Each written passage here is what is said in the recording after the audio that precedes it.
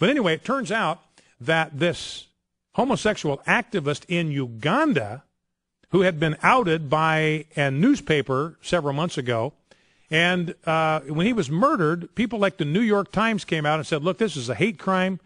And guys like Scott Lively, who's an acquaintance of mine, he's written the book The Pink Swastika. I've referred to that, talking about the the infiltration of well, the whole Nazi movement was started by homosexuals. Remember the stormtroopers? Most of them uh, were were homosexuals because they're the only ones that Hitler could trust to be savage enough and brutal enough to carry out his wishes to quell uh, opposition.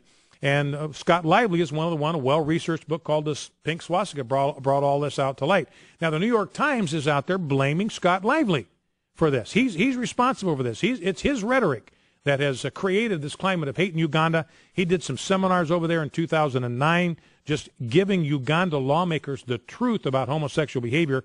Now he's being blamed for the death of this homosexual activist. Well, it turns out that the leading suspect now in that murder is his driver, the man's driver. And apparently, police suspect now that he beat this homosexual activist to death with a hammer so he could rip off his money and his clothes. So once again, the media uh, out there jumping to conclusions and trying to pin the blame uh, on uh, conservatives